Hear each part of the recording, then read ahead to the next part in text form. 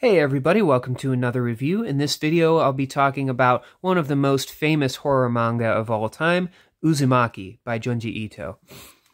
This book tells the story of Kuruzu-cho, which is a town um, that has become infected by spirals.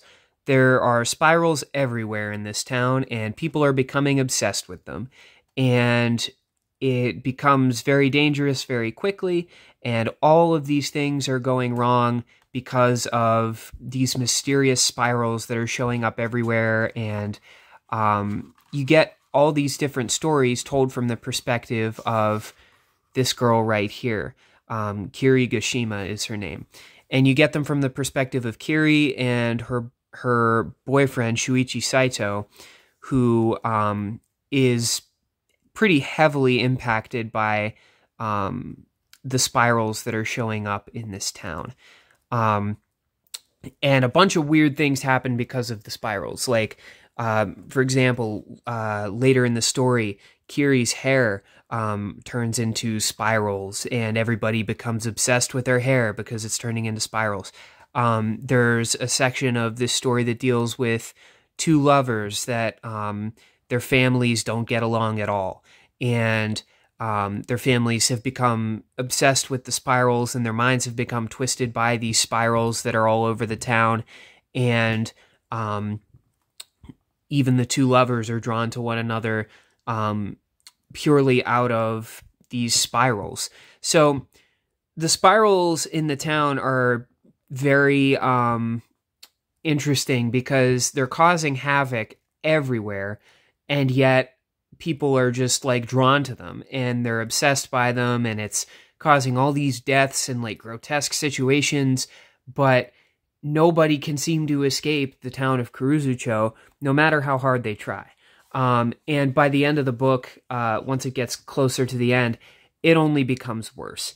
Um, this story is incredibly inventive when it comes to like some of the messed up stuff that happens because of these spirals.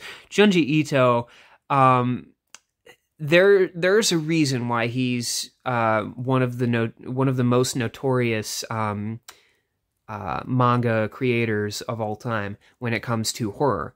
Um, this guy's mind knows no bounds when coming up with um, really messed up situations and um, showing you really creepy stuff and also doing it in a way that feels realistic and um, very creative at the same time.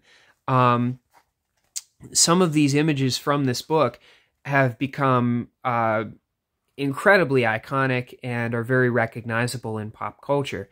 Um, like there's uh, there's this one for example, um, the girl with the the spiral in her head. Um, that I see that everywhere now. And before getting into Junji Ito um, manga, um, I had no clue like what it was from, and I was like, "That's weird." And then reading this this book, um, I was like, "Oh, that's where that's from." So Junji Ito is kind of like a pop culture ph- phenomenon at this point. Uh, most people who are into comics, whether it be Japanese comics, manga, um, or just uh, American or European comics. Like people, people know who Junji Ito is if you're into comics, um, or anime, and his legacy has kind of like um, really driven its way into becoming um, like a staple in pop culture. Um, this book is cool because um, it tells these really creepy, like creative stories from the perspective of just average, everyday people that are going through the same stresses of life that everybody else is. But then you amplify that by the fact that there's all this abnormal, paranormal stuff that um, is going on involving the spirals and you just get an absolute nightmare going on. Um, one thing about this book is like, I mean, I realize it's sort of the point, but the ending of the story is like pretty hopeless. I'm not going to spoil anything, but I would have liked to see like um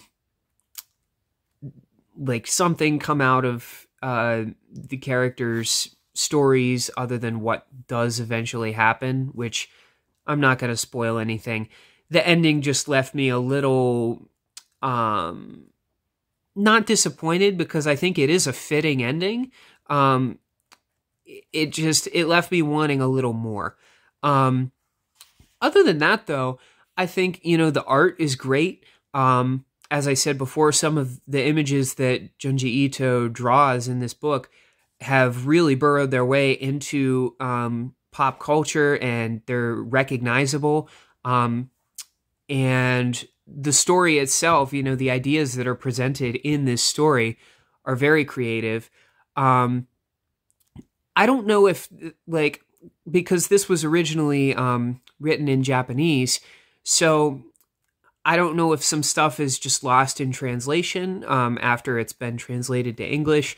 Um, some of the dialogue felt a little bit off at times, but I'm sure that that's just kind of like uh, stuff that has become lost in translation um, from Japanese to English. Um, but yeah, overall, very cool book. Um, perfect for like, uh, I know Halloween is over now, but um, perfect for like uh, getting into like a spooky kind of mindset. Um, if you want something creepy to read, um, something that might keep you up at night, this is a good book to read. Um, I enjoyed it for the most part. Um, yeah, those are my thoughts on Uzumaki by Junji Ito. Thank you as always for watching and look forward to more videos in the future. Have a great day.